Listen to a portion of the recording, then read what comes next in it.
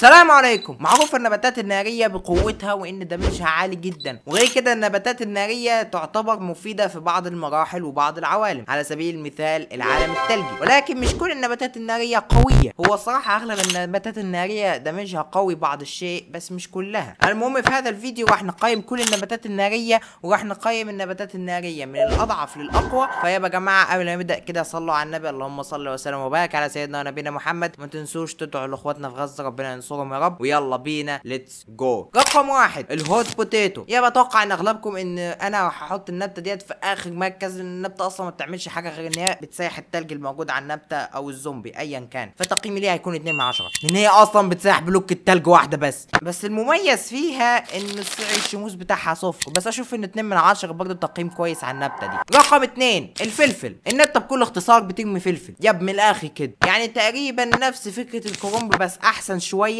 وكمان في حاجة نسيت أقولها عن إنه النبتة بتدمج damage splash في المنطقة. هو damage splash ضعيف شوية مقارنة مع البطيخ بس يمشي الغرض. بس تقييمي ليها 4 من 10 النبتة فيها عيبين. أول حاجة إنه النبتة محتاجة 200 شمس علشان تحطها مرة تانية. و200 شمس على النبتة ديت أحس إنه مبالغ فيه قوي يعني. 200 شمس ليه؟ غير كده أنت محتاج ليك 20 ثانية علشان تحطها مرة تانية. حرفيا ال game يخلص وأنت يا دوبك ما حطيتش غير كام حبة منها بس. رقم ثلاثة التنين. التنين بكل اختصار بينفخ نار إيه الجديد يعني. أيوه هو بينفخ نار. معروف إن أصلا التنين بينفخ نار. أه، okay ما علينا ما علينا مشوها. لكن عيبه إنه damage ه قليل شوية بس المميز فيه إنه سعره مقبول نوعا ما على اللي بيعمله. إنه بيدمج ست بلوكات قدامه وسعره 150 شمس. هو آه غالي سنة يعني بس لا زال مقبول نوعا ما. وغير كده مش محتاج وقت علشان تحطه مرة تانية. ولكن مع كل المميزات ديت فالتقييم ليها هيكون خمسة من عشرة. ليه؟ بكل اختصار دمجه ضعيف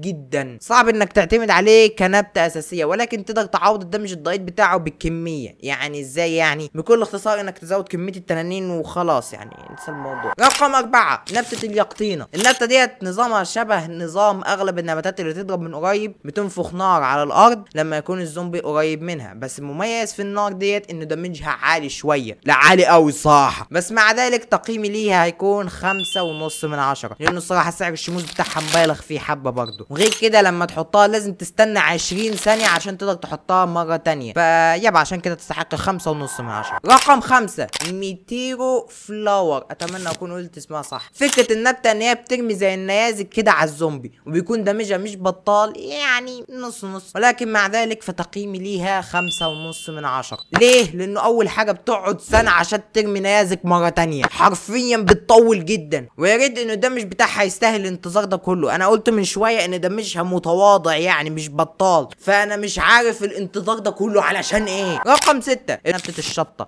أتوقع إن أغلبكم عارف النبتة دي كويس واللي مش عارف النبتة ديت وعايش في كهف فخليني أشرحها لك على السريع كده. النبتة بالمختصر المفيد تقتل خط كامل من ال zombies باستخدام يعني لما تحطها بتقتلهم على طول كده. فبيكون تقييمي ليها ستة ونص من عشرة. يلا تستاهل. رقم سبعة ال hot potato. النبتة ديت بكل اختصار ال zombies القريبين منها بتجيبهم عندها. ولما الزومبي ياكلوا النبتة ديت بتحرق خط كامل من الزومبي فأديها سبعة من عشرة. رقم تمانية. ال peashooter الناري. ال peashooter الناري يعتبر مزيج من البيشوتر العادي والتورتش ودمجه الصراحة حلو جدا. حتى سعره ممتاز جدا ويقعد خمس ثواني بس عشان تقدر تحطه مرة تانية فيبقى تقييمي ليه سبعة ونص من عشرة. رقم تسعة. نبتة ال pyre vine. نفس فكرة اليقطينة بس أحسن شوية. المميز فيه إن سعرها قليل وفي نفس الوقت تقدر تحطها كل 10 ثواني على عكس اليقطينة كل 20 ثانية. وغير كده وغير كده كمان كلكم عارفين إيه اللي يميز كل نباتات ال vine تقدر تحط نبتتين على نفس البلوكة فيبقى تقييمي ليها 8 من 10 رقم 10 نبتة ال lava guava أو الفولة. النبتة بالمختصر المفيد لما الزومبي يقرب من النبتة دي بترمي حمم بركانية ويكون ال damage في المنطقة المحيطة بتاع المنطقة المحيطة ليها. ولما تنفجر بتسيب أثر الحمم ديت في المكان اللي كانت موجودة فيه النبتة. ولما الزومبي يمشي على البتاع ده بيتدمج. فتقييمي للنبتة 8 من 10 رقم 11 شبح الفلفل.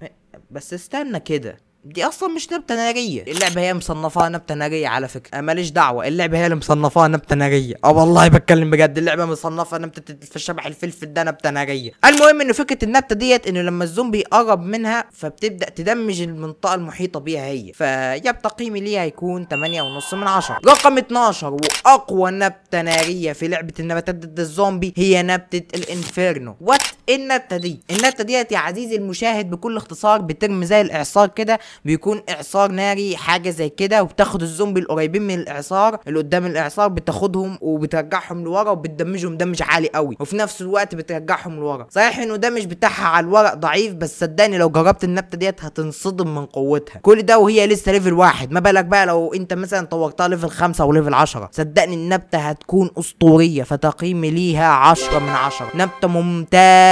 من الآخر. ويا يا جماعة شكرا لكم على المشاهدة. إذا عجبكم الفيديو لا تنسوش ال like والاشتراك. و... آه صحيح شايفين الفيديو ده؟ آه, آه الفيديو ده. أيوه أيوه. الفيديو ده بتاع Plants versus Zombies Garden Warfare الجزء الثاني. اتكلمت في الفيديو ده هل اللعبة دي تستحق إنك تشتريها ولا لأ يعني؟ فلو ما شفتش روح شوفه يعني. هيعرفك حاجات كتير. حتى لو تشتري- حتى لو معكش فلوس إنك تشتريها أو مش ناوي تشتريها فشوف الفيديو برضه عشان تعرف الحاجات الأساسية عن الجزء ده وكده يعني. ويب آه صحيح. يلا سلام.